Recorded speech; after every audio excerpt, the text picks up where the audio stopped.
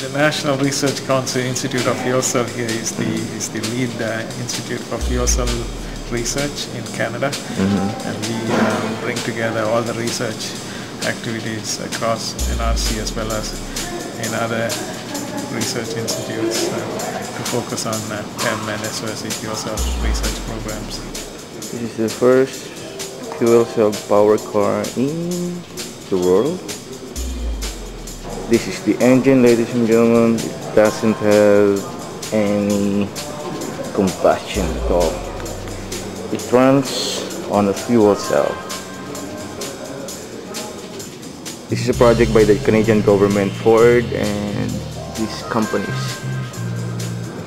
Fuel cell tank, right? Yes, yes. It's not like that you'll go, Safer yeah? than the, even safer than the gas. Safer than the gas.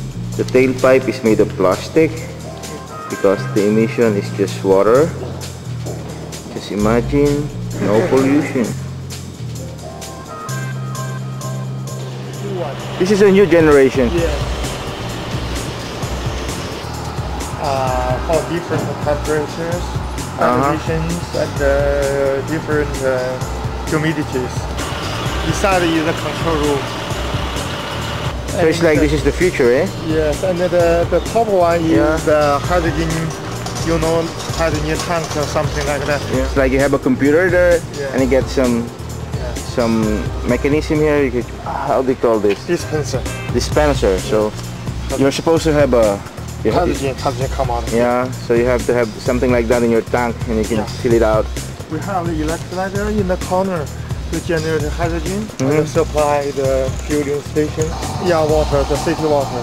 City water, not mineral water or fresh water, just No, no, any just water. City water, just city water. City water because we have the city standards Yeah, yeah. drinking water, so that's enough. Hydrogen. Hydrogen, Yes. really? Yeah, and then they have a they have a plan for the hydrogen economy for the next 15 years. Simulate the solar energy. Yeah, to get the get solar the sun. panel and uh, generate the hydrogen and the power for the fuel cell. You know the power Mm-hmm. comes out of the power. Well, it's like the sun. The energy Sun, comes from there. Yeah. Come in there, and then we use the solar panel here. Yeah. So these are solar panels.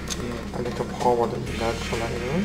So this is an electrolyzer. Yes, That's one that we saw there is a big big thing where in yeah, Yes, it's like in the- in the generator. Yeah, yeah. Generator, hydrogen generator. Hydrogen generator. Generate the hydrogen, the oxygen. So it separates the hydrogen from the oxygen. Yes.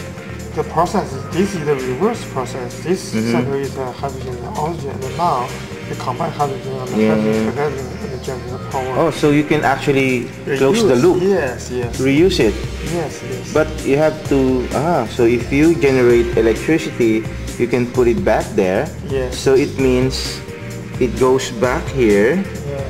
And you could produce another electricity Yes, like that. yes. And there's energy from the sun and you don't need gasoline in producing this power. This one is really moving Yeah, because of the energy from the bulb.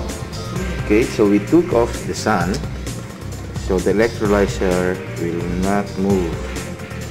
The fuel cell will not produce anything, and it will stop.